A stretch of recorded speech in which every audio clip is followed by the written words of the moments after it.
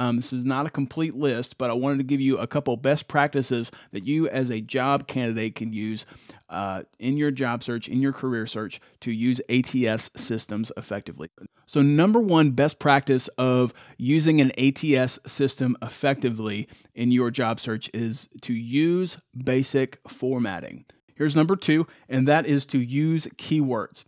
Use keywords in the career documents that you upload. And then the third and last best practice that I wanted to put in front of you with applicant tracking systems, trying to have you use them effectively in your job search, is that you want to make sure that you plainly follow the instructions of the the ATS system. You want to follow the instructions. If they ask for a resume, upload a resume. If they ask for it as a Microsoft Word document, make sure you put the Word document and not a PDF file. Just follow those instructions.